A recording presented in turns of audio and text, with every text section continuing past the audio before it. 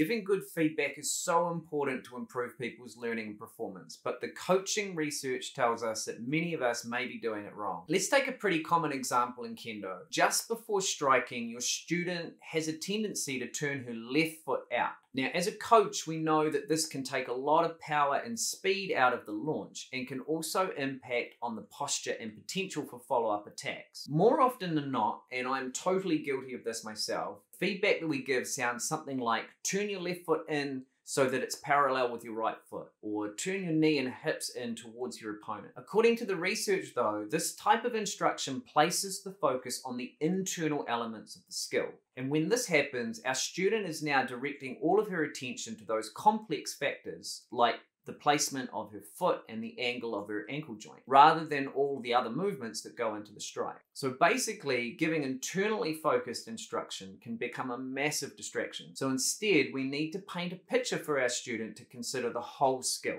This makes a lot of sense when you think about how much there is going on before a strike. Focusing in on the smaller details will naturally distract from the environmental cues that the student needs to consider.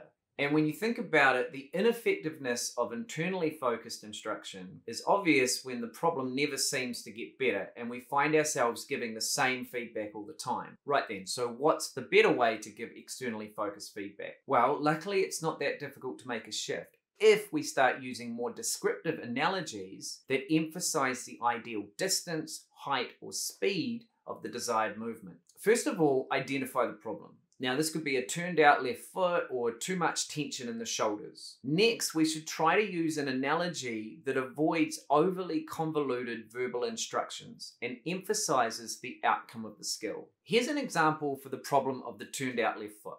For this next strike, think of having a couple of jetpacks strapped to your butt.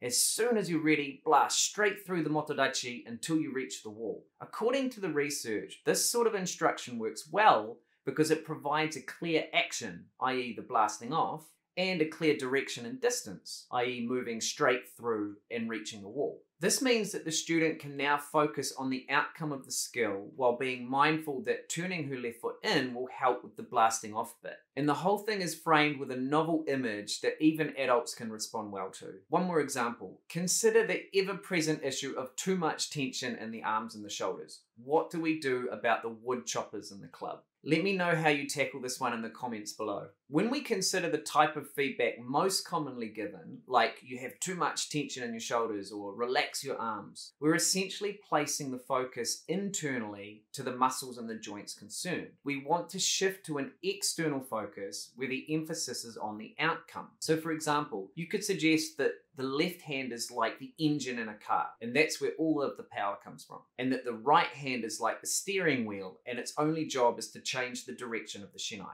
This is a great one that my sensei used with me when I was just starting out. Your instructions could emphasize words like swinging and striking softly, or stopping your hands in line with the face while trying to hit an imaginary opponent standing behind your motodachi. Softly becomes the action, and the distance and direction are covered by the imaginary opponent. To frame the ideal strike as an analogy, you might say, strike like a hawk gliding over the top of its prey. If you've got something better, which I'm sure you will, chuck it in the comments to help us all out with this one. In any case, these analogies might sound a bit silly, but they are an effective way to keep the focus on the desirable outcome rather than all the distracting internal movements. These wee coaching moments do have the added benefit of providing tailored reminders for people that you can come back to when needed. And this can really help to build a trusting and positive learning environment. And it helps us to move away from the more generic and largely unhelpful instructions like more ki and good posture. Working on giving effective feedback is super important for your success as a coach. But if you really want to improve your coaching, you should definitely check out this video for more ideas.